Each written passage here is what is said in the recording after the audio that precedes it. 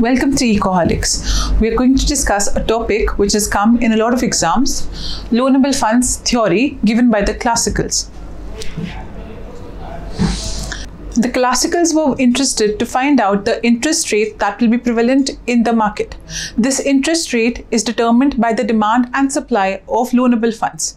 These loanable funds are demanded and supplied by different economic agents. Let's look into the issue. The equilibrium interest rate is always the rate at which the amount of funds individuals desire to have or desire to lend is just equal to the amount others desire to borrow.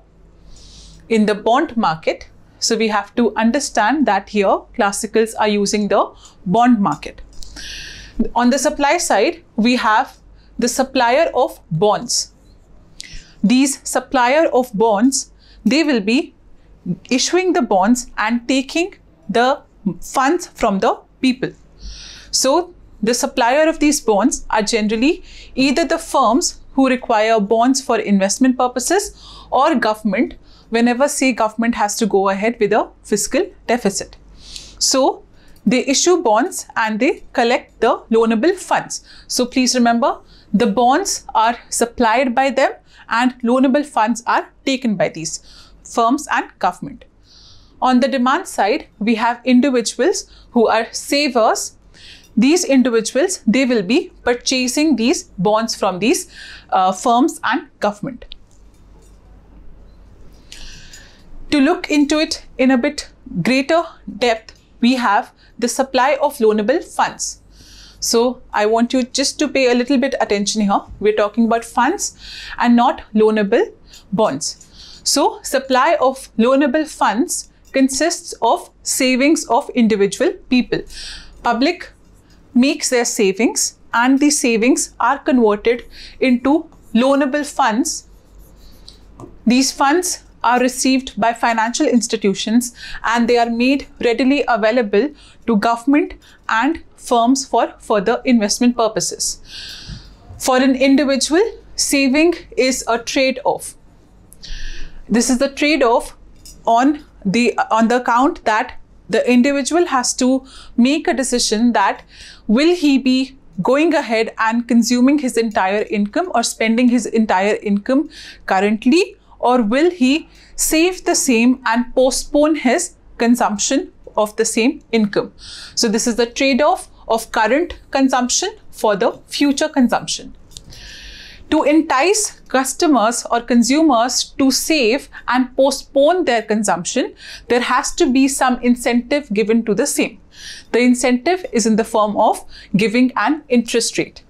What is the relationship between interest rate and savings? The relationship is positive. Higher the incentive, higher the rate of interest that you will give to a customer or a consumer who is willing to supply loanable funds, this individual will be saving more. So, savings have a positive relationship with rate of interest. As the rate of interest increases, there is inducement to save and vice versa. So if we have to draw the rate of interest and say the savings rate, there is going to be a positive relationship here.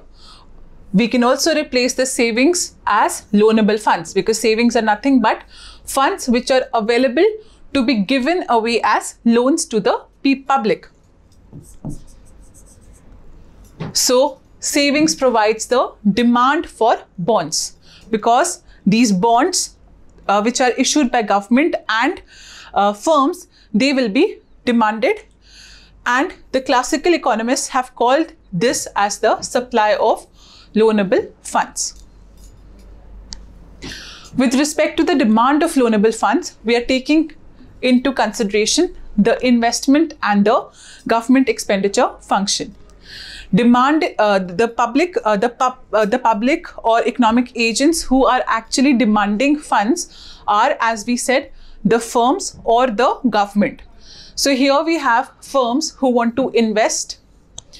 So they will require money for the same and they will demand these funds from the savers. At the same time, whenever government goes ahead, ahead with a uh, fiscal deficit or any other deficit, then they will be demanding the same from the market. So here we have demand for loanable, uh, demand of loanable funds and the relationship with respect to the rate of interest is negative because the rate of interest is a cost of borrowing. So whenever in the market the rate of interest increases, there is an inducement not to invest and that is the relationship shown here through a negatively sloping investment or government expenditure function. So here we have rate of interest and here we also have the loanable funds or investment amount. There is an inverse relationship. We've covered this point. So cost of borrowing for the funds to finance investment projects increases if the rate of in, uh, interest increases and investments will fall. When we talk about the equilibrium, we will bring both the demand and supply side of the loanable funds together. So here we have the supply of loanable funds. This is showing a positive relationship with the rate of interest and the amount of loanable funds available. Again, loanable funds are the total amount of funds which are available to the public in order to take a loan. So, as the rate of interest increases, there is inducement for a saver to save more and the supply of loanable funds increases. Additionally, we have the demand for loanable funds. We've taken the interest uh, in investment uh, amount here and also the combined government and investment requirement. There is a negative relationship again. As the rate of interest increases, the inducement or the cost, uh, the inducement to uh, take up loanable funds decreases or we say that the cost of borrowing has increased as the rate of interest increases and public will uh, demand lesser loanable funds. So the intersection of the two here, if we are taking only the public or uh, only the private investments, this will be the amount of interest rate. Say in case the uh, government has also made some additional demand with respect to a fiscal deficit, then the demand for loanable funds will increase and we will reach a new point of equilibrium here. And at this point, we can see that the quantity which is taken by the market of the loanable funds has increased, but this increase is also with an increase in the cost of borrowing or the interest rate because the supply of loanable funds is limited here. So equilibrium interest rate is the rate that equates the supply of loanable funds which is consisting of supply with the demand for loanable funds, which consists of investment plus bonds financed by government. The interest rate plays a stabilizing role in the classical analysis. Here we see that when the rate of interest is very high, the supply of loanable funds exists, but demand is not there. This is because of the fact that demand is caused by investment, which is related to returns, expected profits, and rate of return.